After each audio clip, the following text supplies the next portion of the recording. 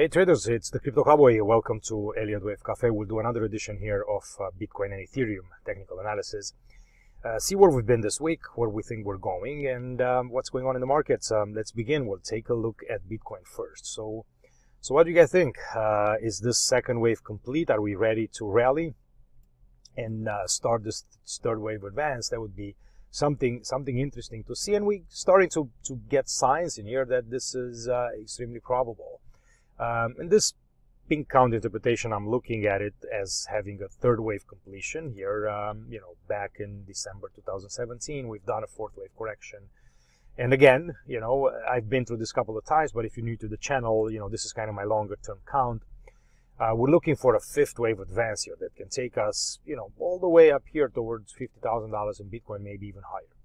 Right, so um, wave one is done. We completed wave two, and we're starting to work this larger third wave advance. And um, we've been in a period of consolidation, you know, for the month of May and June, you know, a little bit half of July, and this kind of sideways move on here. And it's we're starting to get signs that we're breaking out of here. So, um, just taking a look at this, I'm gonna break. Uh, I'm gonna start moving from one week here. Let's go to a two-day chart and see where we are, so you can kind of you know, see our one, two interpretation, and I'm going to uh, bring back my counts and see what they tell us. So um, what we have now is we're looking for the completion of this first wave one.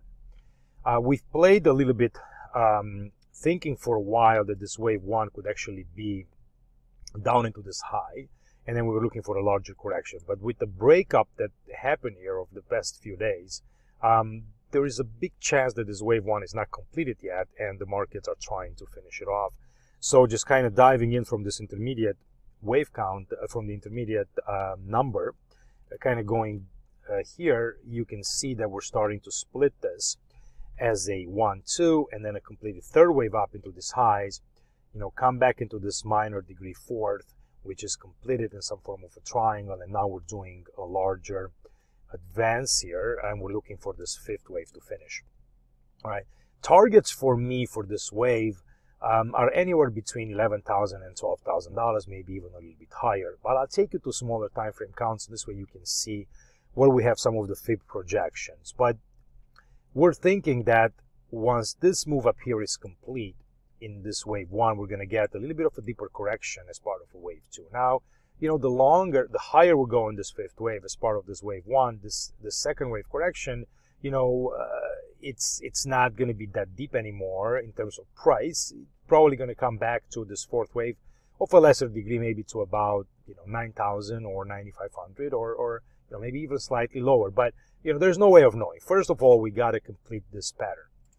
Um, it doesn't mean that we got to get the second wave necessarily in this shape. It could be a very simple, there could be a different formation in here, a little bit of a flat.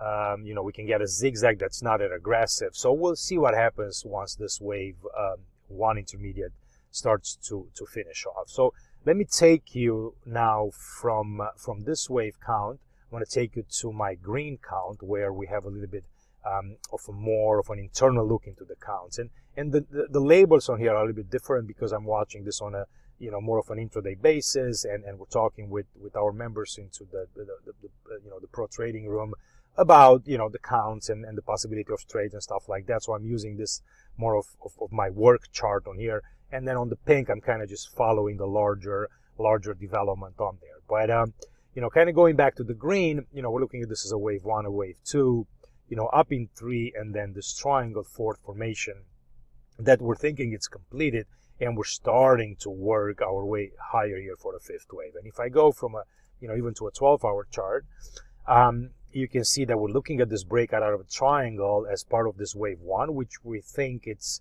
you know, possible near completion. Maybe we do one more high to complete this wave one, then we'll get some kind of a pullback in the second wave. We'll do a three, a four, and a five to target this larger fifth wave. And I've said it's anywhere between, you know, 11,000, 11,500 all the way up here to about 12,000. You can see some fib projections. What I've done is I've done this fifth wave on here versus on, on, on the distance travel between the, the origin of this wave one traveled all the way to this all the way to the top of this wave three Um, and then you take a fib multiple of that and you have 38% um, comes in at about 12,900 and then um, you know if you take just the distance traveled in this fifth wave compared with this wave one you know an original uh, um, you know a decent target for that would be at about a 61.8 uh, multiple of this wave one it's about 13,369 so uh, we're, we're looking for this move to continue higher into those levels so if I go from a 12 hour down into a 3 hour chart, uh, we're looking at this as a leading diagonal wave 1, down in 2, and then you have this larger third.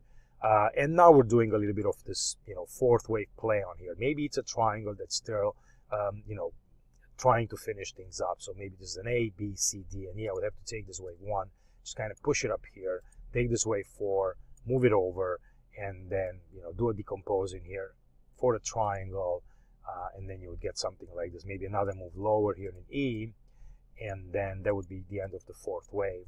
One more push up higher in this fifth, and then we'll get some kind of a correction here for the second.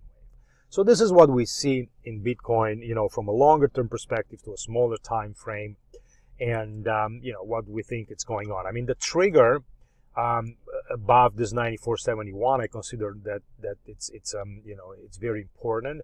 I think this kind of starts to confirm an end, uh, you know, to this long triangle consolidation. I think the markets are ready to move up higher. Um, you know, could I be wrong? 100%. This could still be, you know, part of a larger uh, kind of corrective pattern in here. You know, we can sell lower. This could be just a simple, you know, WXY. This could be some kind of a leading diagonal in here from the highs kind of coming all the way down. Then this could be a W, it could be an X and then you have another maybe an A, B, and then some kind of a C in here to complete this. And then there would be a second wave. This would be a one, and then you sell lower. So, uh, but you know, as we know, Elliott wave gives us context and gives us some you know, ways to look at the market in such a way that we can be prepared in case something else is going on. So I always want to be prepared, um, you know, for, for, for being wrong. And, um, you know, as long as I know that this is a possibility until we start taking up these highs, uh, I'm going to look at it as such. And uh, we're going to continue to move our stops. Uh, you know, wherever we decide to enter, we make those decisions together in the room. And I will, um, you know, protect, uh, protect the trade. Uh, and then if the market turns, uh, you know, we'll get out of the way or we'll flip and we'll go short if, if, if we need to. But until then, um, you know, I like the structure that's here and, and I'm going to look, I'm going to continue to look to the upside. All right. So that's, uh, that's pretty much the idea on Bitcoin. Now let me switch over to Ethereum and let's take a look a little bit of, I'm not sure if I've, if I've shown you guys, uh, you know, some of my longer term counts in Ethereum, but um, you know, this is pretty much the main one that I have. And you have another one that's bearish that's looking at this as being, you know, possible just an A, you know, some kind of a B correction and a C, and then we sell lower again. So I have that possibility. But, you know, combining this with Bitcoin and, you know, what's going on in the alt market, I think we're ready to start the new bull market in here. And we're looking at this as having a one, two, three, nice triangle in fourth. Uh, you know, if this is a, um, you know, just a nice zigzag in a second wave, this is a triangle. So, you know, nice, nice alternation as per the guidelines.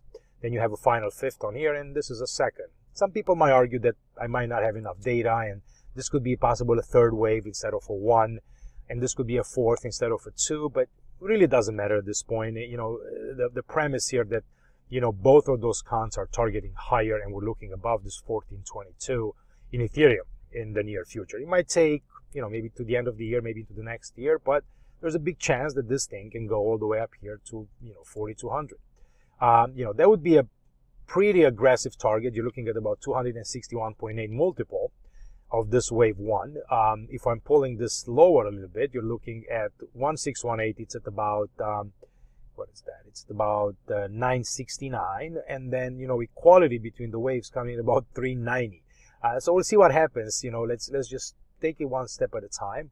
But if it's just going to be a simple ABC coming from here, to the lows and to the highs. So you can see that would be, you know, a simple corrective move. Let's say it's in three waves, something like that. And then we sell lower. Still that target would be about 390.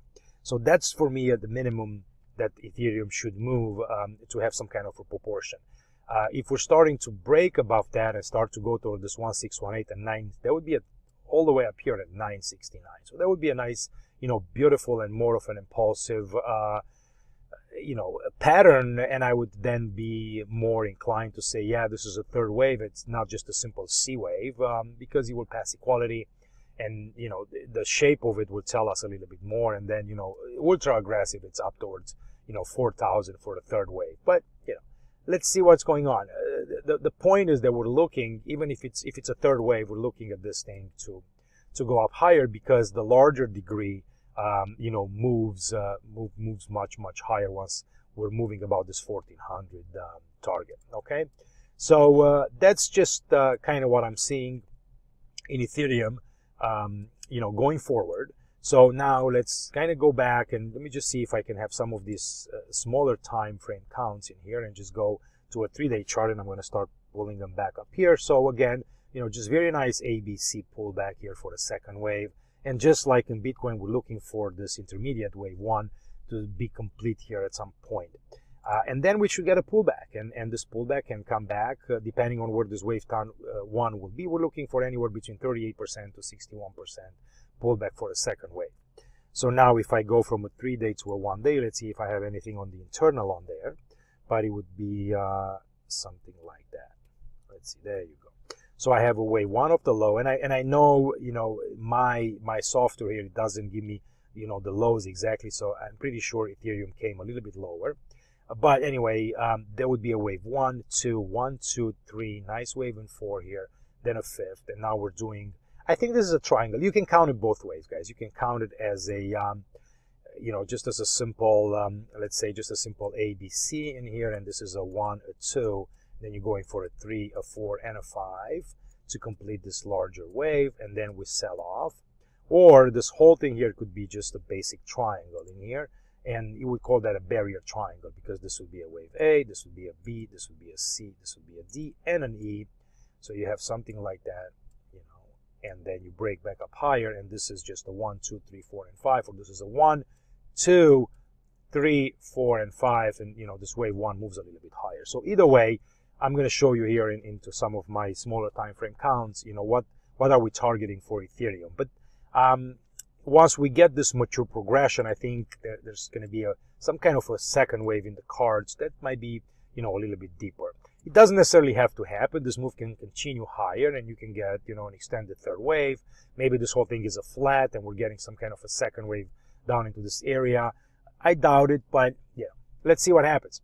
Uh, let's go to a uh, smaller time frame here uh, on a six hour. So this is more of the blue count of a working kind of chart where we're looking at the same thing, right? One, two, three, this triangle up here in the fourth wave, and then we're looking for some targets.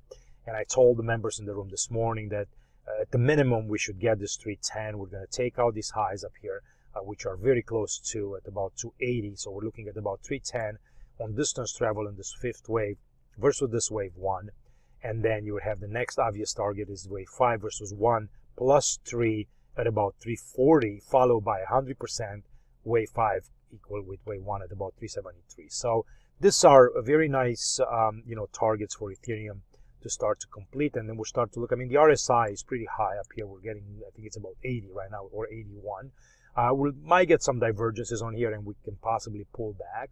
But in terms of um, in terms of Elliott wave structure um, this can very simple be done and we can sell lower, right? because we have met um, the characteristics of a fifth wave. We have taken up the top of the third wave. We have no truncation. And this can terminate at any point it really wants to. It doesn't necessarily have to go up into those targets. So um, it's hard to long Ethereum at these levels. We're very close to these to these highs on here. Um, you know, we're going to get a mature progression. Um, there might be a second wave, and if it happens in three waves and you get some kind of a decline back to retest of this area, you know, then you look for another third, a fourth, and a fifth, and maybe that's the end of the fifth wave. But remains to be seen next week how we're if we're if, if Ethereum has a little bit of power to correct lower and give another opportunity for longs, and then go up here and target some of these areas. All right, so um, that's all I got for today. I hope this is helpful, guys. If you love the content or if you like it, even you know, give me some thumbs up. Um, leave any comments you have below. Subscribe to the channel. You know the drill. Hit the notification bell. Come and visit us into the room. We got a you know a pretty uh, uh, you know affordable trial up there. Um, and uh, you know you'll see our daily videos and charts and commentaries. We have a nice chat room in the Telegram channel. Uh, I present videos like this every single day on the markets, and, and we talk and we run to scenarios and we take trades. Actually, we have a long in the XRP right now.